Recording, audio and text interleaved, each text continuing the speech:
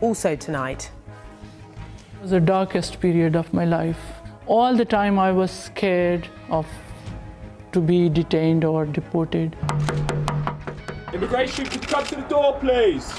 The fight for compensation for the people wrongly accused of cheating in English tests they sat for their visas.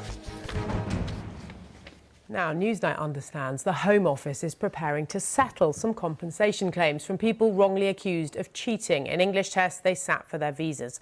Two weeks ago, this programme revealed fundamental flaws in the data used by the department to take immigration enforcement action against tens of thousands of people, mostly international students. They'd been accused of cheating by getting someone else to sit an exam called a TOEIC, Teaching of English for International Communication. But critics of the government say there's been a huge miscarriage of justice and many are innocent. If compensation is paid, it would be a milestone in these cases. But as Richard Watson reports, many who've suffered terrible hardship may struggle to bring a claim. Asiya Aram came to the UK from Pakistan with her daughters in 2007. I think this one. She passed an advanced diploma in business in London, then worked in schools. But in 2015, the Home Office wrote to her saying she'd obtained her student visa by deception by cheating in a TOEIC English exam. The letter said an anomaly in her speaking test indicated that someone else, a proxy, had taken her test. Did you cheat? No, not at all. Because when I came to this country, I did my English test before that. After that, I was working as a teaching and learning associate in this country for two years. How can I cheat? If I was teaching other people, other teenagers, how can I cheat?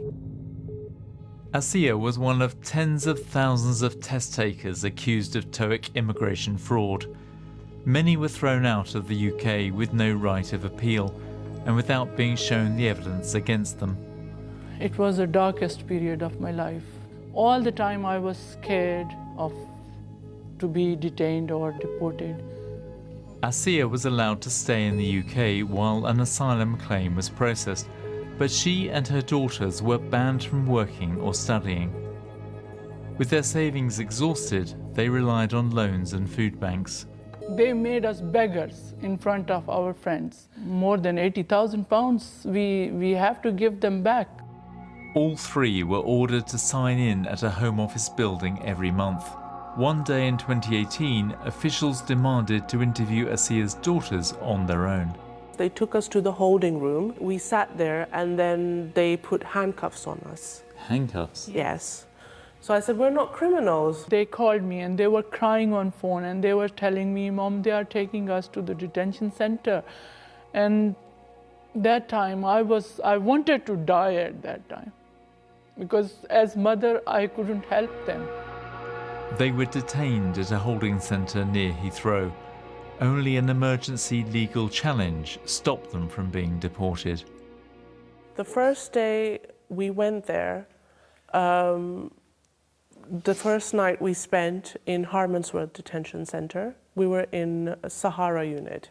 I started developing um, suicidal thoughts. I did have them. And then they put me on constant watch. They were held for seven days.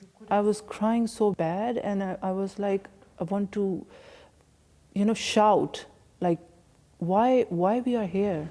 The fraud accusation against their mother came a year after an undercover Panorama film had exposed widespread cheating at two London TOEIC test centres. We were the journalists behind that story. After the film, the American organization that set the exams, ETS, used voice recognition software to try to identify students who cheated. Astonishingly, it concluded that 56,000 TOEIC test takers had either definitely or probably faked their exams. The Home Office accepted the ETS data without question. Thousands of people had their visas cancelled or were deported on the sole basis of ETS's evidence. Two weeks ago, we revealed fundamental flaws in this data. More than 4 out of 10 people who've appealed their cases have won at tribunal. Up to now, the Home Office has not paid compensation to those wrongly accused. We've learned that might be about to change. We're aware of 26 compensation claims underway. In what would be a major development in this story, we understand the Home Office is now prepared to settle some of these claims out of court.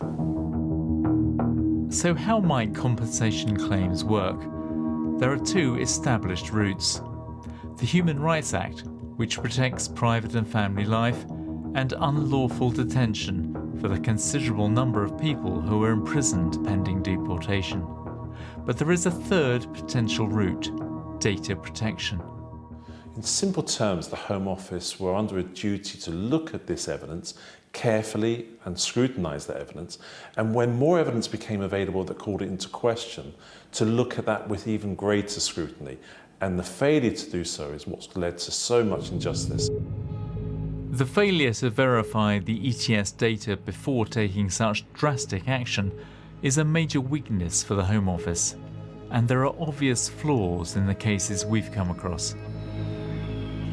But the Home Office has taken so long defending its actions that many people's claims would now be too old and would be ruled inadmissible. There's clear advantage to the Home Office for the proceedings to have, uh, to have been protracted due to the fact that, of course, individuals will have fallen outside of any ability to obtain compensation.